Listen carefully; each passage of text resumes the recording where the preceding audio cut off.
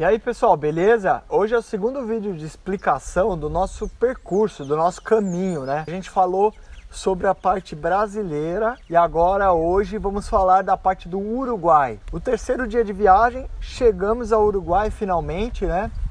É, o Brasil é um, um grande trecho e o Uruguai nem é tão grande assim. Assim, em um dia você consegue atravessar conhecer todo o litoral do Uruguai. A gente até deu uma enrolada em Punta del Leste, mas assim, é muito tranquilo para você fazer todo o litoral do Uruguai em um dia.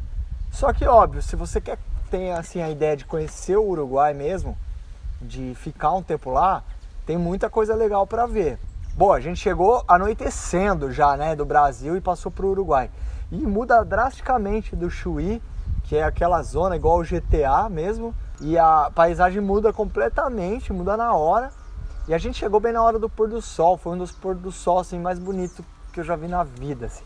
Foi, acho que o mais bonito que eu já vi. A gente foi rodando contra o sol e foi maravilhoso, cara. Até tirei umas fotos na hora com a GoPro, com o celular mesmo assim. E, meu, é incrível. O visual assim muda drasticamente. O Uruguai é um país pequeno, cara. E assim, as coisas são bem espaçadas, é bem pacato assim. Então, tirando nas capitais, nas, nas, tipo, nas partes mais movimentadas, mesmo cidade grande, cidade turística, ele é tudo cidadezinha pequena, uma atrás da outra. E é assim, fazenda, fazenda, uma escola, você andar mais 50 km uma coisa, tipo, é tudo meio espaçado. Uma coisa que eu achei muito louca, eu não sei se a gente tem imagem para mostrar, mas seria interessante se eu achasse essas imagens, se eu não perdi, né, durante a viagem, é que lá tinha muito cemitério de carro antigo, cara muito carro antigo, tipo Ford Falcon, os carros bem zoados assim, tudo acabado e os caras eles vão nesses cemitérios de carro antigo, poucos reformados assim, bem loucos, hot rod mesmo, e alguns os caras pegam, compram os carros de dois contos lá, em, em, reais já passando, né, dois mil, tipo uns carros tudo zoados, uns V8, e eles andam até, mano, até não dá pra andar mais, até a polícia prender, não dá mais, tudo enferrujado, o lucão mesmo assim, de, do ferro velho, e aí quando zoa, eles vão lá comprar outro, entendeu? E na beira de estrada, assim, você vê vários desses cemitério de carro ferro velho e os caras vendendo carro. Aí é interessante assim também que no Uruguai a gente chegou, aí logo já anoiteceu. A gente parou na primeira cidade logo depois da divisa e, cara, tava muito lotado, porque como era litoral, é, tava muito. Tava a época de férias deles, então tava totalmente lotado, tipo uma praia do Brasil. Então a gente rodou a cidadezinha toda, foi em todos os estaleiros, pousada, gente que alugava casa e não achava um lugar para dormir, cara. Aí cogitamos a possibilidade de dormir no posto de gasolina no primeiro dia já. Terceiro dia de viagem já pensando em dormir no posto de gasolina. Aí falamos com o frentista tal, pedimos ajuda. Aí ele falou, cara, se vocês dormirem aqui, a polícia vai vir acordar vocês não é nem o pessoal do posto, a gente deixaria na boa. Mas como é uma cidade turística, de praia e era super pequenininha, ele falou que não era legal. Então aí esse cara ele foi mó firmeza, aconselhou a gente a seguir viagem mais uns 20 quilômetros, acho que era, até Punta del Diablo. O que, que tem nesse lugar, Punta del Diablo? Cara, é um lugar muito tranquilo também, muito pequeno, praia também, tava lotado, só que ele tem muitos campings, cara. Então a gente passou por um camping nacional um, um, parque assim muito lindo e gigante. Só que o mínimo para acampar nesse parque eram três dias. Três dias, cara, a gente não poderia ficar, né? E também desperdiçar um dinheiro que você ia ter que pagar três diárias. Então a gente continuou procurando. Entramos num hotel gigantesco, cara, antes de Punta. E aí fomos perguntar, né? Não custava nada perguntar diária. Para chegar no hotel foi tipo uma estradinha dos dois quilômetros, cara, para chegar dentro do hotel, do portão até o hotel. Aí passamos até por essas vacas de novo, essas vacas que fazem esses bifes mais caros aí. Passamos por elas, elas estavam no meio da pista, mó escuro já, não chegava mais nada. Aí chegamos lá, ah, diária quanto que é? Ah, mais barato que a gente tem, o quarto é 200 dólares. Puta, a gente já, mano, catamos um Wi-Fi rapidinho ali para avisar que estamos vivos e tal. E aí seguimos, vamos para a Punta de Diablo mesmo, que o frentista falou. Os caras lá no Uruguai eles são bem firmeza dão informação, tentam te ajudar de qualquer forma, eles são bem legais mesmo. Aí seguimos viagem, fomos pra Punta del Diablo. você passa por aquelas estradas do Uruguai, o Uruguai não tem muito aeroporto no Uruguai. E pode ser que tenha alguma emergência de avião. E aí, como é que você faz? A pista dos caras, do nada, ela larga assim. Tipo, fica um bagulho incrível de lago, sem faixa pintada e com o desenho de um avião no meio. Então os caras podem fechar a rodovia para fazer algum pouso de emergência. É muito doido. A gente não tem imagem disso porque acabou a bateria de todas as GoPro. Tipo, mano, tava mó escuro para gravar com o celular. Então fica na memória só assim. É muito legal para quem vai para lá poder registrar esse momento. Aí beleza, chegamos em Puta del Diablo. Você já sente entrando na cidade um cheiro de camping, sabe? Eles usam lenha de eucalipto, então fica muito cheirosa a cidade. Aí chegamos num camping, meu, enorme, com aquelas barracas daqueles cara com motorhome, a barraca dos caras de oito lugar, que tem sala, quarto, gigante, e nós paramos as motos, montamos a barraca do lado, já era. Banho quente nesse camping, 24 horas, piscina, uma venda que vendia lá várias comidas já prontas, refrigerante, tudo que tinha para comer é, material de cozinha, utensílio para cozinhar, lenha, vendia carvão, vendia carne mesmo, tipo açougue, vendia fruta, tipo uma quitanda. Completíssimo o camping, cara. Incrível. Cheio de gente acampando, mais de mil pessoas, assim, eu, eu estimo que tinha aquele dia. Wi-Fi no camping e, meu, a gente pagou 30 reais. Em reais já. E pagamos em real, inclusive. No Uruguai a galera aceita muito real. Por estar tá muito próximo do Brasil, a galera aceita demais real ou peso argentino. Então você não precisa se preocupar às vezes em ah, vou levar câmbio, dólar do Uruguai e tal, o dinheiro do Uruguai. Não, você leva o real mesmo.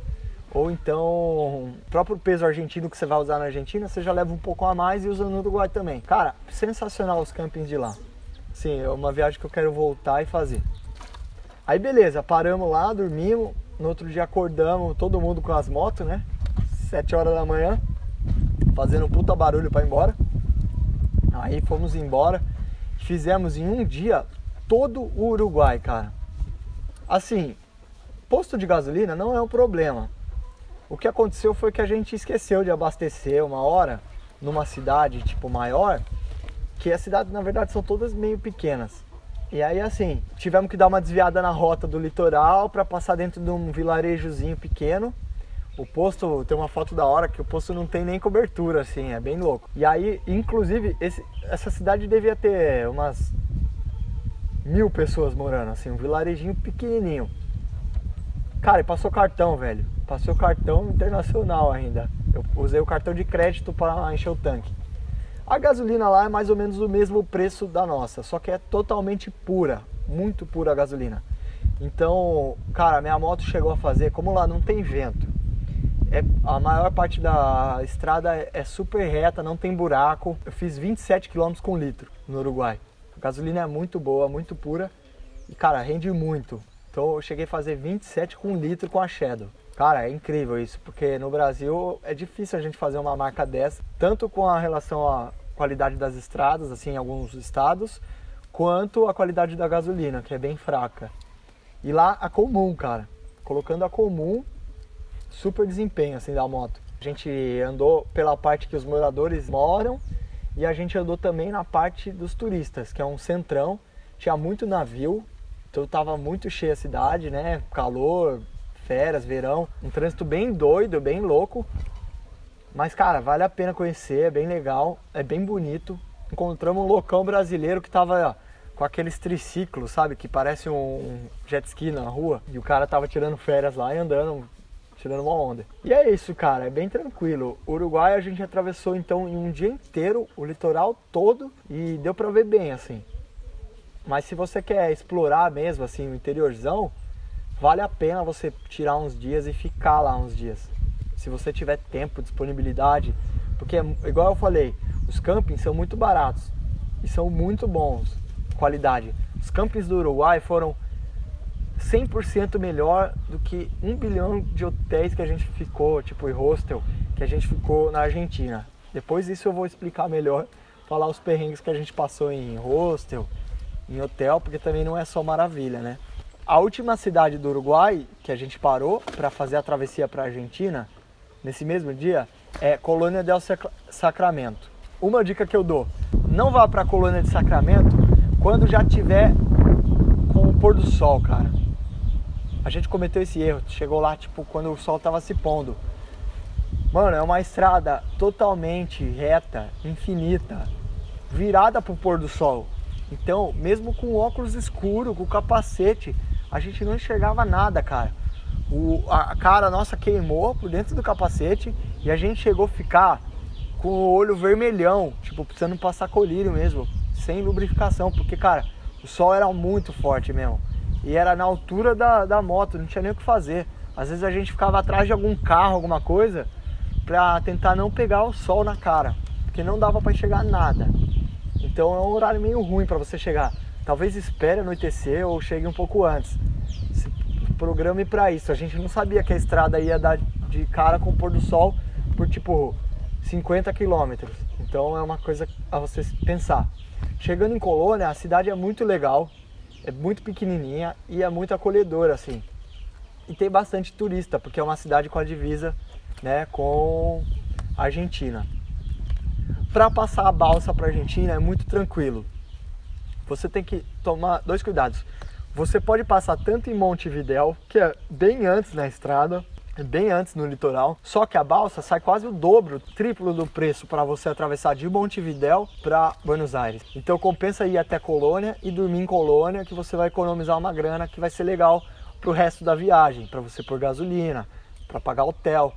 Lá a gente achou vários hostels assim, mas estavam meio lotados já. A gente achou melhor ficar num hotel. O hotel foi super bom, quarto super bom. Não foi um absurdo de caro. Ficou tipo, vai, uns 80 reais para cada um. É ok, um preço ok, um hotel super bom, super honesto, é, com café da manhã e tudo mais. Você pode agendar a passagem, o horário da balsa. A gente pegou o primeiro horário, 6 horas da manhã. Então a gente saiu do hotel 5 horas da manhã, foi até a balsa, fez todos os trâmites de fronteira, porque você tem que passar pela polícia, carimbar o seu passaporte, seu documento. Você deixa a moto na fila, vai, faz esse trâmite. Eu até gravei um trecho, é proibido gravar, mas vai estar tá aí o trecho. Amigo, eh, ¿no han hecho check-in todavía? Tienen Ah. que ir a hacer check-in. ah, tenemos que pasar. Tienen que ir a hacer check-in, migración y después vienen para la moto. Ah, Después. Podemos dejar la, las Sí, motos sí, la moto es acá nomás, no hay ningún problema. Sí, sí, ningún problema, vaya nomás para adentro. Muchas gracias. Gracias. Devia ter deixado o capacete ali, né, tô te gravando aí. Bom, gente, é o seguinte, estamos indo agora fazer o check-in para embarcar com nossas motos. Buenos dias. Gostaríamos de fazer check-in. Mi nombre y apellido. Son dos motos. Sim, dos motos. Sí, las, las aplicaciones abajo. Solamente pasar bien. podemos entrar por lá ou vamos por aqui? Muitas graças.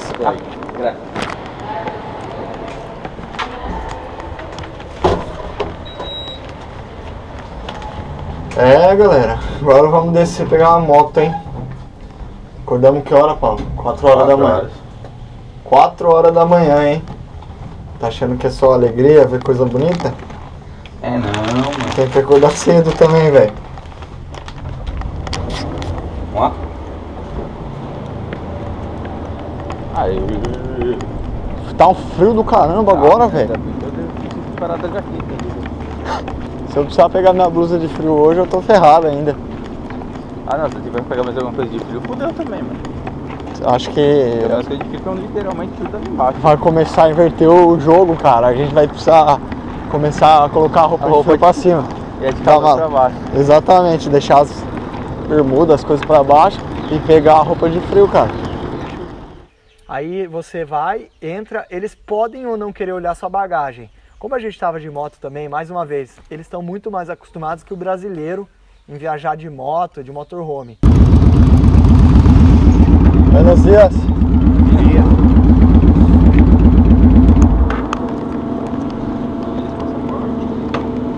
Solamente el boring. Ya le cortamos el boring Acho que está os dois com, com ele. todo acá. Pero solo esos son, son ales. Ah, tem, de las motos. Essa, essa aqui. Uno y uno. Estamos dividindo para Está bien. um ajudar o outro. O meu passaporte tá aí, Paulo. Tá, Melhor já pegar já. quer guardar já? É, porque eu vou pôr aqui pra não molhar. Ah, tá.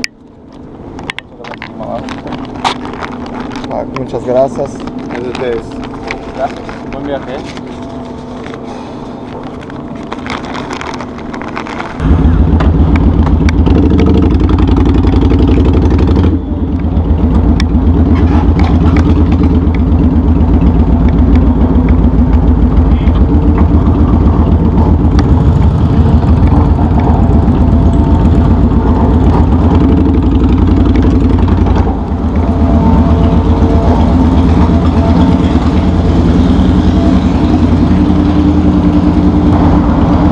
Buenos dias. Muchas gracias.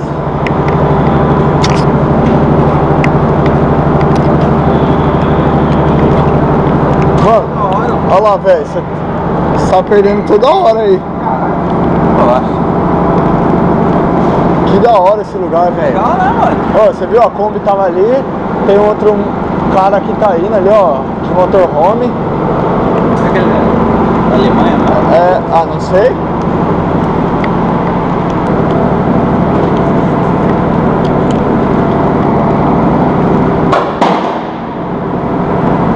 Aí vou colocar a motoca aqui no, no dispositivo aqui, ó. Pra, pra amarrar.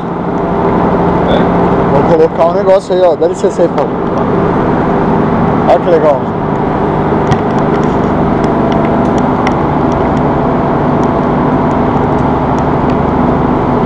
Arriba. Tá. Muchas gracias.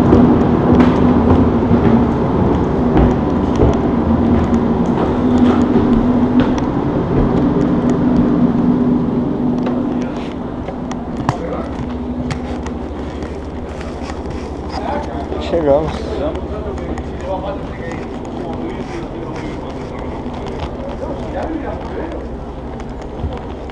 que... Olha.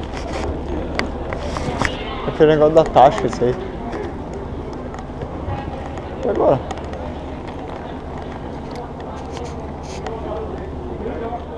A gente encontrou uma Kombi de brasileiros lá também passando. Eles nem olham a bagagem, nada. E aí eles sabem que você tá com faca, fazer fogo. Eles não ligam, de verdade. Aí você deixa a moto lá, o cara vai prender ela devidamente com cinta e você sobe curte a viagem, duas horinhas de viagem até Buenos Aires. Agora são 6 horas em ponto. Todo o pessoal já embarcou. Todo o pessoal já embarcou da hora pra caramba, na parte de Amarrado, ó. Tinha umas três bilhetreiras. Nossas duas motos lá amarradas. Eles amarram, não sei como que é lá. Tinha os motorhome, os carros de pessoa que vai e volta mesmo, normal. E, bom, aqui dentro já é considerado também área internacional, tem free shop aqui dentro. É bem legal aqui. E a gente vai seguir viagem agora. Ligou o motor. Acabou de ligar. E vamos aproveitar essa nossa uma hora aqui Dormir pra pra caralho. dormir, porque a gente tá zoado aqui por cedo hoje, hein? Quando você tá rodando, pelo menos dá uma acordada. Agora, acordar Caraca. cedo e parar é foda. Então, galera, eu vou contar no próximo vídeo para vocês como é que é a chegada, então, em Buenos Aires de balsa. É, falo um pouquinho melhor para vocês também é, desse trajeto e como é andar em Buenos Aires, que é um lugar que é um pouco mais complicado, porque tem os problemas de uma cidade grande. Tem roubo de moto, tem algumas coisas de trânsito também, que os caras são meio, meio GTA no trânsito. Eu conto para vocês, falo de preço de gasolina e tudo mais. Então acompanhe o próximo vídeo também, que vai ser esse próxima semana, vai estar lançado aqui no canal. Não deixe de conferir o vídeo anterior, que a gente fala do Brasil. Se você tiver alguma dúvida, alguma questão que você queira levantar, algum dado que você queira mais específico, não esqueça de comentar, tanto aqui no YouTube quanto no Facebook.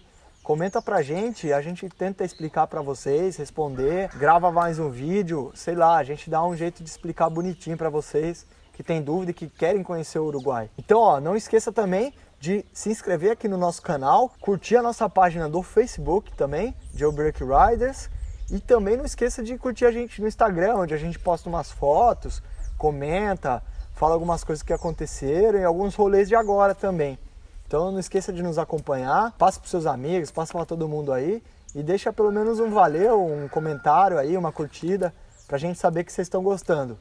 Beleza? Até a próxima, pessoal. Valeu!